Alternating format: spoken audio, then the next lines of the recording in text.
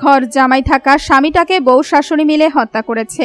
অথবা সে অত্যাচার ও যন্ত্রণায় অতিষ্ঠ হয়ে বিষ পানে আত্মহত্যা করেছে। যার কারণে কিশোরগঞ্জের ভৈরব উপজেলা স্বাস্থ্য কমপ্লেক্সে লাশ রেখে পালিয়েছে বউ শাশুড়ির পরিবার। তাদের বাড়ি উপজেলার মৌটুপির মঞ্জুনগর এলাকায়। পুলিশ ও স্থানীয়রা বলছে, প্রায় ছয় থেকে সাত বছর আগে স্বপন মিয়ার সঙ্গে প্রতিবেশী সুইটির পারিবারিকভাবে বিয়ে হয়। বিয়ের পর থেকে দুজনের সংসার বেশ ভালোই চলছিল।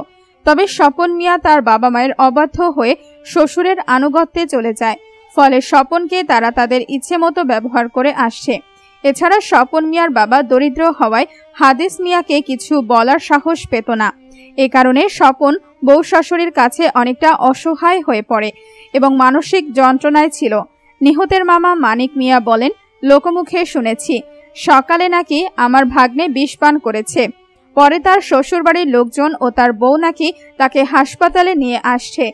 খবর পেয়ে আমি হাসপাতালে এসে দেখি, ভাগ্নের মরদেহ রেখে তার বউ সহ শ্বশুরবাড়ির লোকজন পালিয়ে গেছে। কীভাবে বা কি কারণে তার মৃত্যু হয়েছে তা এখনও জানতে পারিনি। তিনি আরও বলেন, মরদেহ রেখে তারা পালিয়ে যাওয়ায় সন্দেহের সৃষ্টি হয়েছে।